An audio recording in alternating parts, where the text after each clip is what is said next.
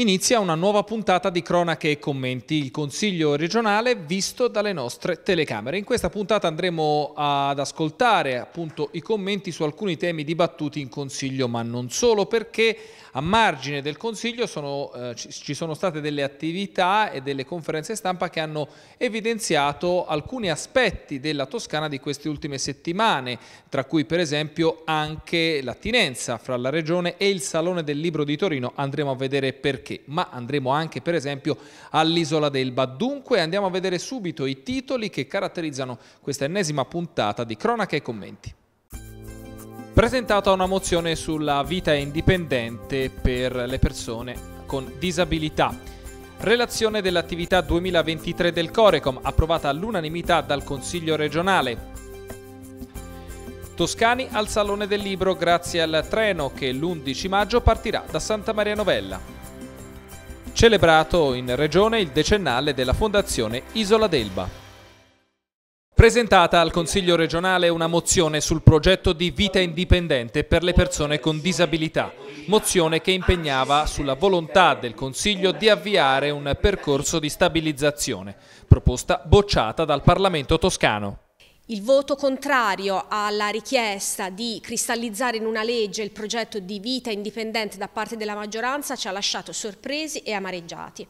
Prima di tutto perché l'impegnativa era molto semplice e chiedeva di attivare questo percorso, che significa dare il via a mantenere una promessa che è stata fatta ormai sette anni fa alle associazioni, ai comitati delle persone con disabilità che chiedono che l'articolo 9 della Convenzione internazionale per la difesa delle persone e la tutela delle persone con disabilità sia resa concreta e oggettiva, cioè dare fondi strutturali che non siano legati a progettualità annuali a quelle che sono le esigenze esigenze di assistenza di queste persone che devono avere il diritto di poter scegliere della propria vita e devono poter avere un supporto economico ma anche legislativo adeguato. Le scuse con cui è stata respinta, dicendo che è necessario attivare un percorso e fare tutti dei procedimenti cui, per i quali noi ci siamo dichiarati disponibili e neanche abbiamo disconosciuto il lavoro che pure ha fatto la Regione Toscana, non sono accettabili, non tanto da noi ma da quelle associazioni che non più tardi di un mese fa protestavano sotto questo palazzo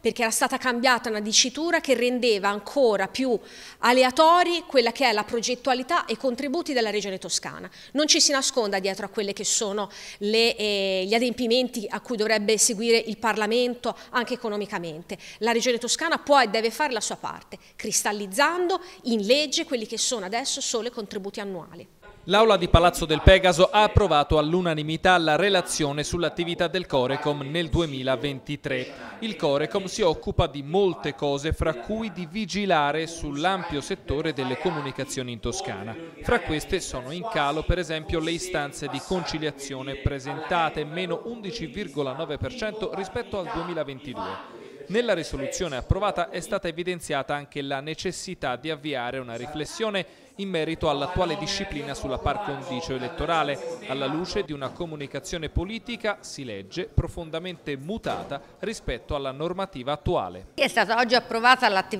la mh, risoluzione che accompagna l'approvazione del consuntivo delle attività del Corecom per il 2023. Si tratta di un'agenzia eh, che è poco conosciuta e che invece riveste una funzione importantissima per i cittadini e le cittadine dal punto di vista loro interesse a quanto si muove nell'ambiente dell'informazione e delle telecomunicazioni in generale, ma anche per quanto riguarda le loro vertenze queste, su queste materie. Il Corecom ha sia attività che gli sono delegate dal governo sia attività proprie e devo dire che la Commissione ha valutato positivamente tutte le attività del Corecom in questo settore, soprattutto anche la rispondenza delle richieste che la Commissione e il Consiglio avevano eh, inoltrato in precedenza, cioè quella di eh, fare qualcosa per far conoscere meglio questo organismo ai cittadini e alle cittadine che spesso non sanno che cos'è. Si è avviato un percorso di, eh, che loro chiamano Corecom Tour, cioè di giro eh, per le province toscane per spiegare le funzioni del Corecom e eh, consegnare questo strumento importante per eh, frequentare i luoghi che oggi sono diventati preponderanti nelle nostre vite, cioè i luoghi dello spazio digitale, dei social e dare più strumenti ai cittadini per stare appunto eh, e adoperare questi strumenti in modo consapevole. In più il Corecom continua a mantenere alta un'attenzione a cui noi siamo molto, eh, a cui teniamo molto e che, e che sorvegliamo eh, molto, che è l'attenzione per i cittadini più giovani. Con il patentino digitale, il progetto del patentino digitale e la sua diffusione, il lavoro per eh, mettere in guardia i cittadini più giovani dai pericoli della rete, per consegnare a loro degli strumenti per usare eh, consapevolmente eh, i social, i siti web e eh, se, senza eh, rischiare di cadere appunto in eh, trappole che a volte eh, lì si, si, incrociano, ci sembra un lavoro fondamentale. Il Corecon continua a farlo, il progetto del patentino digitale si espande e quindi la soddisfazione eh, del Consiglio è stata piena, è stato approvato all'unanimità il consuntivo 2023 delle attività del Corecon. A margine del Consiglio regionale è stato presentato il treno dei lettori toscani che, come ogni anno, porta cittadini della regione al Salone del Libro di Torino. Sabato 11 maggio la partenza da Santa Maria Novella con l'arrivo alla stazione di Torino Lingotto. Il viaggio è finanziato dalla Regione che avrà all'interno del salone un proprio stand. Il biglietto si potrà prenotare fino all'8 maggio. 50 di questi ticket sono riservati agli under 30 che potranno prendere parte ad un tour dedicato all'interno del salone. Il progetto Il Treno dei Lettori è un progetto che avvicina la cultura toscana e la cultura del leggere in Toscana a quello che è il Salone Internazionale del Libro di Torino. Come associazione Wimbledon, come Gabriele Metrano, presidente dell'associazione, faremo un intrattenimento all'interno del viaggio di andata del treno, una sorta di radio dei lettori toscani, un intrattenimento che vedrà avvicendarsi quelle che sono le voci presenti nel treno, dalle istituzioni a quelli che sono eh, i progetti che poi saranno mh, mh, protagonisti in quello che è il programma nello stand della Regione al Salone una, un, una programmazione che vedrà Anime Loci e la Toscana delle Donne con i suoi protagonisti presenti nel treno e poi un racconto di tutte quelle che sono le iniziative toscane verso, verso, la, verso il Piemonte in questo caso, il Salone del Libro, ma tutte le iniziative toscane che riguardano la lettura ehm, che sono presenti in Toscana per informare e approfondire proprio i progetti che ci sono sul nostro territorio. Grazie. Sì, è dal 2015 che Toscana Libri allestisce e organizza lo stand della Regione Toscana e che nel 2017 è stata anche regione ospite, quindi quella di quest'anno è un ritorno in grande stile. Ospiteremo 33 editori mh, tra quelli che hanno partecipato al bando, più altri che invece fanno parte di un tavolo collettivo di tutti gli editori che eh, fanno parte diciamo, del circuito di Toscana Libri. Quindi il nostro ruolo è un po' quello di fare da collante, da tramite tra tutti questi editori, eh, sia nella parte proprio espositiva, quindi di novità novità e eh, prodotti librari, ma anche proprio nell'organizzazione di tutto un calendario di eventi che per i cinque giorni di salone animerà lo stand. Quanti titoli ci saranno in mostra nello stand Toscana? Si può fare eh, allora, ogni editore eh, tra quelli che hanno partecipato al bando può mandare mm, all'incirca 20 titoli e quelli del tavolo collettivo una decina, quindi insomma direi che l'offerta culturale della Toscana è ampiamente rappresentata.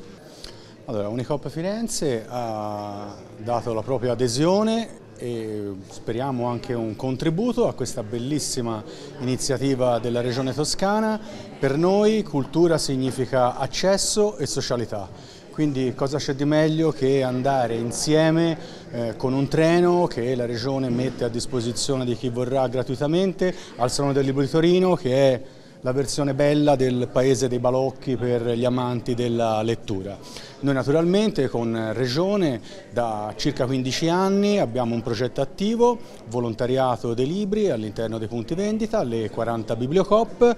che come dire, è un grande motore di eh, partecipazione. In questo caso noi supportiamo la Regione attraverso una piattaforma per le prenotazioni e attraverso un contributo diretto che mettiamo a disposizione per tutti gli under 30 quindi chi ha meno di 30 anni è interessato alla cultura e vuole approfittare di questa bellissima occasione.